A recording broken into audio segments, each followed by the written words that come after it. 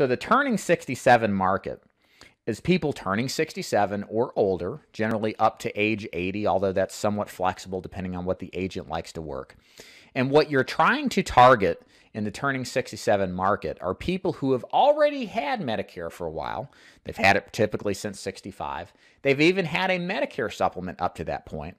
But they've gotten to the point now where they've had the supplement at minimum close to two years, sometimes longer, and they've had incremental price increases. They've not really used the Medicare supplement all that much, and they understand the first time they had the price increase, but now the second time it's coming around, it's typically much higher than they were comfortable with, and they're not necessarily too pleased about it either.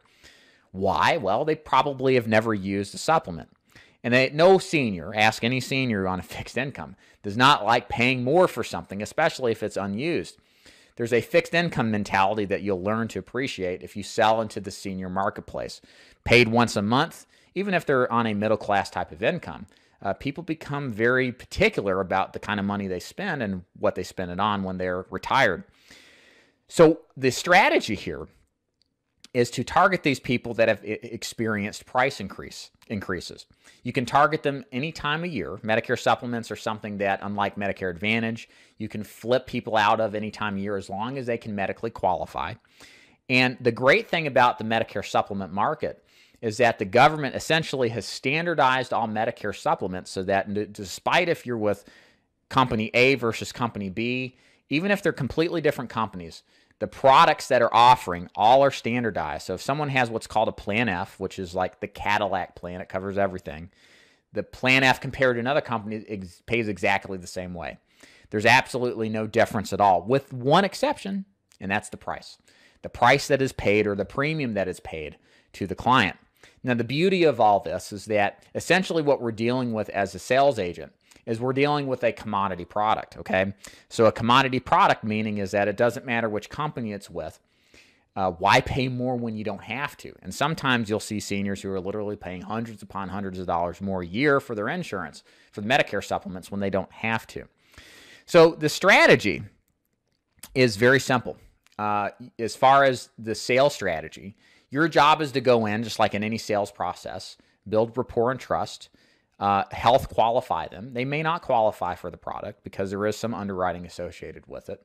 And then demonstrate through your presentation that this product, the Medicare supplement, even if it's with a name brand company, is essentially at the end of the day, according to the government, if you look in the Medicare and You handbook, as we all know, who sell Medicare supplements, it states this clearly that their product is a commodity.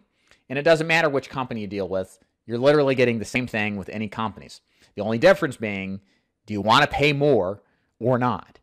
And uh, making that sale based off of the demonstration of your knowledge, your confidence in how it works, and showing, not just telling, but showing them that this is how it works and here's the benefits to it.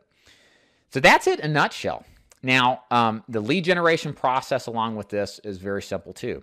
The sales process is a, um, generally speaking, we find a lot of people in the turning 67 market, they'll use direct mail leads or they'll use telemarketed leads. Sometimes they can self generate their own telemarketed leads. Those actually work fairly well, or they're outsourced to others to generate. Um, you can sell this face to face. That's the method I prefer to teach agents. Tends to be a little bit easier to manage. Or you can sell over the phone. A lot of successful Medicare supplement producers sell over the phone. Um, I think it is a product that is built to be sold, sold over the phone to some extent, although I think face to face is just the generally the easiest way to approach this business. So that's Medicare, and it's a repeatable rinse, re, repeat and rinse business.